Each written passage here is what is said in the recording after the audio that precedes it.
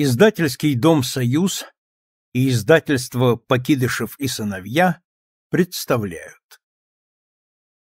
Тэффи. Проворство рук. В дверях маленького деревянного балаганчика, в котором по воскресеньям танцевала и разыгрывала благотворительные спектакли местная молодежь, красовалась длинная красная афиша. Специально проездом, по желанию публики, сеанс грандиознейшего факира из черной и белой магии.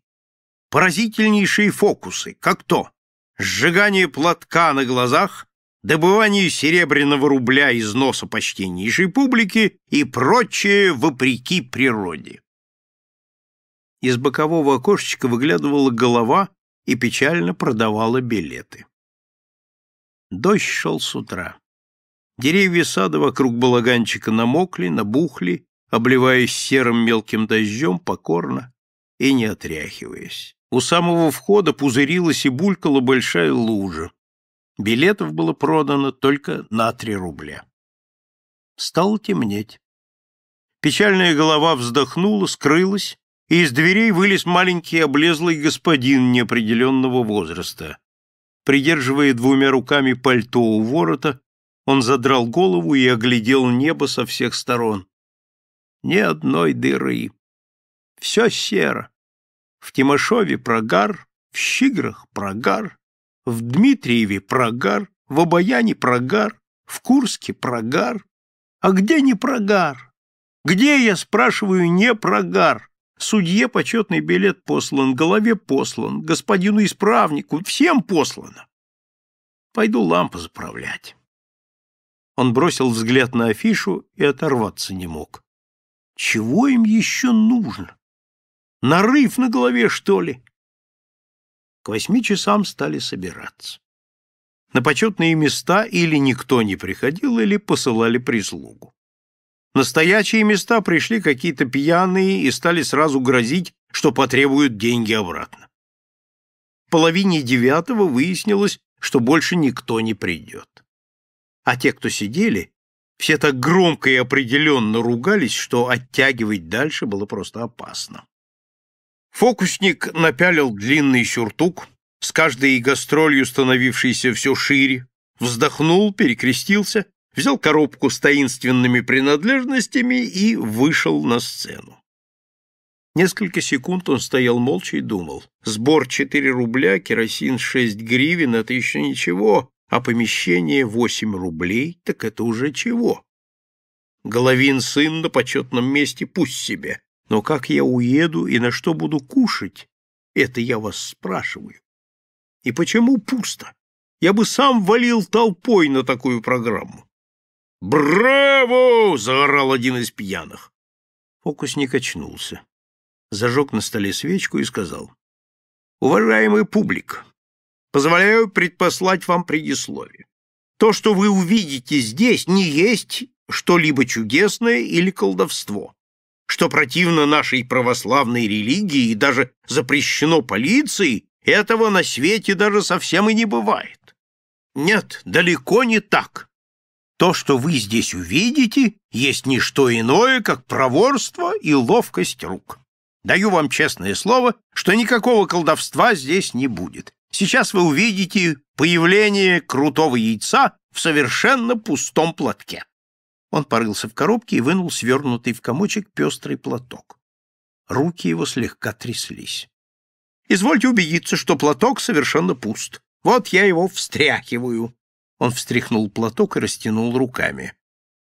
С утра одна булочка в копейку и стакан чаю без сахара, а завтра что? — думал он. Можете убедиться, что никакого яйца здесь нет. Публика зашевелилась. Кто-то фыркнул. Вдруг один из пьяных загудел. «Врешь! Вот яйцо!» «Где что?» — растерялся фокусник. «А к платку на веревочке привязал!» «С той стороны!» — закричали голоса. «На свечке просвечивает!» Смущенный фокусник повернул платок. Действительно, на шнурке висело яйцо. «Эх ты!» — заговорил кто-то уже дружелюбно.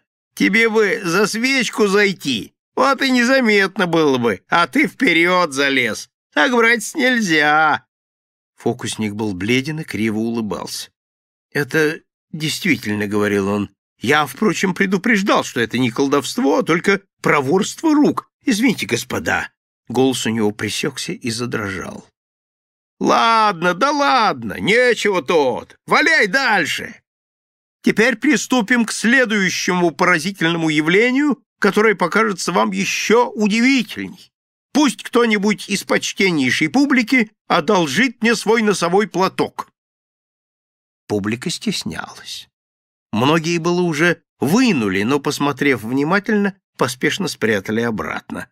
Тогда фокусник подошел к сыну городского головы и протянул свою дрожащую руку.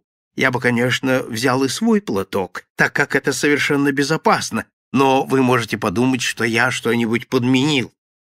Сын головы дал свой платок, и фокусник развернул его и встряхнул. «Прошу убедиться, совершенно целый платок!» Сын головы гордо осмотрел публику. «Теперь глядите, этот платок стал волшебным. Теперь я свертываю его трубочкой, подношу к свечке и зажигаю. Горит. Отгорел весь угол. Видите? Публика вытягивает шею. «Верно!» — кричит пьяный, «паленым пахнет!» А теперь я сосчитаю до трех, и платок будет опять целым. Раз, два, три. Извольте убедиться. Он гордо и ловко расправил платок. Ах! Ах! Ахнула и публика. Посреди платка зияла огромная паленая дыра. «Однако», — сказал сын головы и засопел носом. Фокусник прижал платок к груди и вдруг заплакал. «Господа, почтеннейшая пуп, сбору никакого, дождь с утра, куда ни попаду, везде с утра. Не ел, не ел, на булку копейку!» «Да ведь мы ничего, Бог с тобой!» — кричала публика. «Разве мы звери? Господь с тобой!» Но фокусник всхлипывал и вытирал нос волшебным платком. «Четыре рубля сбору! Помещение восемь рублей! Восемь! Во-о-о-о!» Какая-то баба всхлипнула. «Да полно тебе, о Господи, душу выворотил!» — кричали кругом. В дверь просунулась голова в клеенчатом капюшоне. «Это что? Расходись по домам!» Все и без того встали. Вышли, захлюпали по лужам, молчали, вздыхали. «А что я вам, братцы, скажу?» Вдруг ясно и звонко сказал один из пьяных. Все даже приостановились. «А что я вам скажу? Ведь подлец народ нонче пошел. Он с тебя деньги сдерет и тебе же душу выворотит, а? Вздуть, ухнул кто-то во мгле. Именно что вздуть. Ай да, кто со мной? Раз, два, три, ну, марш! Безо всякой совести, народ. Я тоже деньги платил не краденые. Ну, мы уж тебе покажем. Живо! Дорогие друзья, вы прослушали фонограмму, созданную издательским домом «Союз» и издательством «Покидышев и сыновья». Копирование, воспроизведение, переработка и иное использование данной фонограммы или любой ее части без согласия правообладателя является незаконным и влечет уголовную, административную и гражданскую ответственность в соответствии с законодательством Российской Федерации. Все права защищены.